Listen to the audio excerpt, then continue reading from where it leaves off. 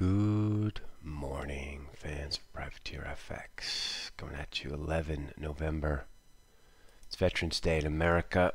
Canada also on holiday, so it'll be a uh, reduced liquidity today. Calendar's totally empty. Um, we did have some news overnight. Kiwi uh, was the big mover. RBNZ didn't move rates created a little new lending program, but it was pretty positive on the economy. So Kiwi shot up one, two, three, four, five, six, seven, eight straight days now.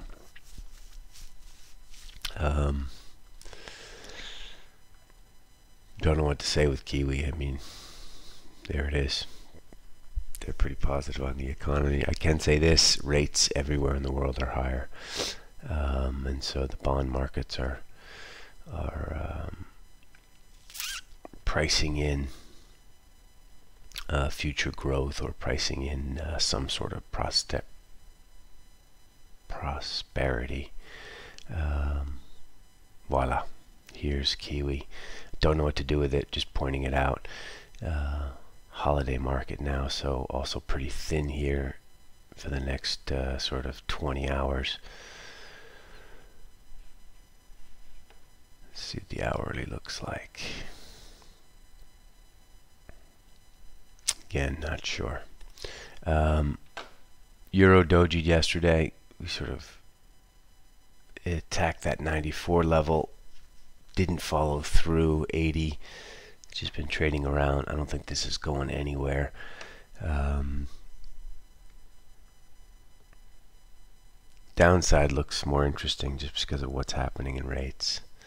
Uh, but perfect doji yesterday kind of middle of the range doji, so not super important, but we'll see where where she floats around to. We're expecting a very muted range today. Cable, on the other hand, uh, made range highs up at 132.80. Big green bar there. Um, I, I would expect this to sort of be running out of puff up here. Bunch of highs now at 80 um, is just going to uh, sort of slither back down. I think eventually it is. We don't have any uh, risk on. We we tried from the long side yesterday with limited uh, success. Got a bit choppy here. This was the European day, as you can see. It was basically 1376 all day, up, down, up, down, up, down. Um, Will cable turn? I think it probably will. Dollar Swiss, on the other hand, looks to set to go higher still again. So you want to be buying this on dips. These dips are tricky, right? Get a lot of fresh air down here after this big move on Monday. Um, where do you buy today? Let's look at the dailies. Should be a doji yesterday. Kind of, not really. A pretty green day. Um, I don't know probably 91.15 to sort of 90.85. You want to try and buy some dollar Swiss on just sort of a sloppy, rangy type day. Dollar yen also is rates driven now, so you want to try and pick this up on the bid. Um, I don't know, 105. We already printed that.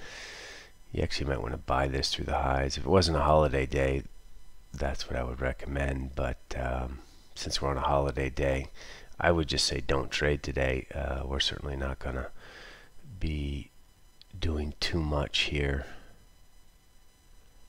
But you want to collect this. Dollar CAD, big turn bar on Monday. Couldn't really get going through 30. We, we ran some stops through 30.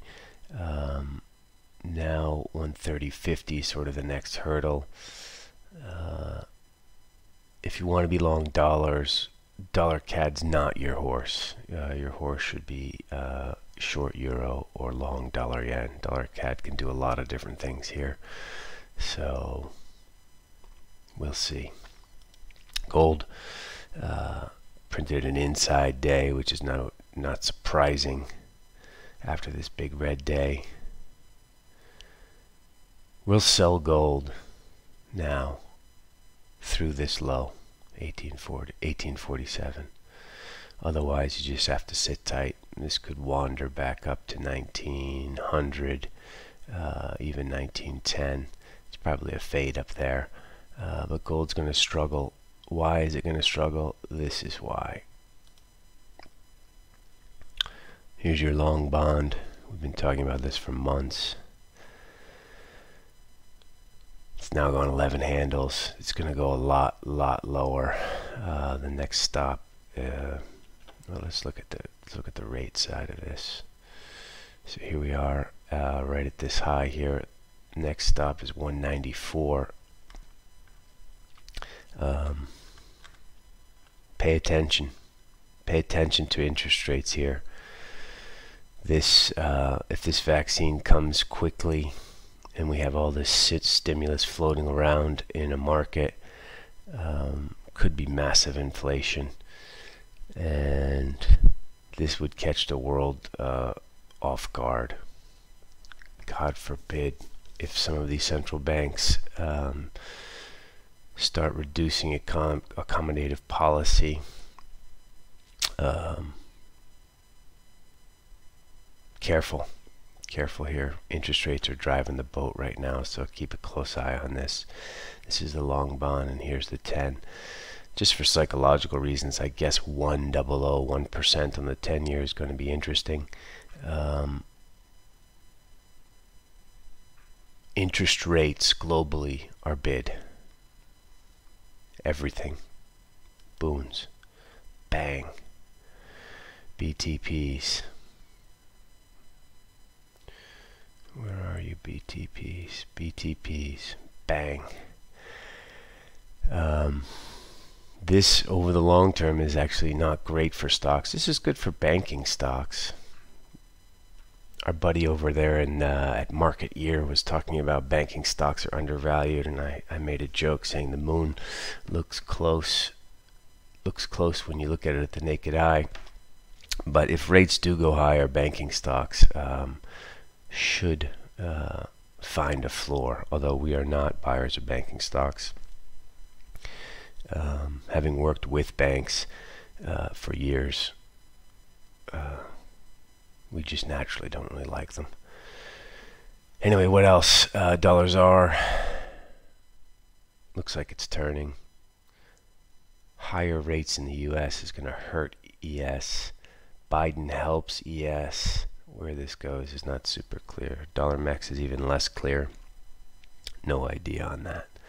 Um, main theme today is it's a holiday.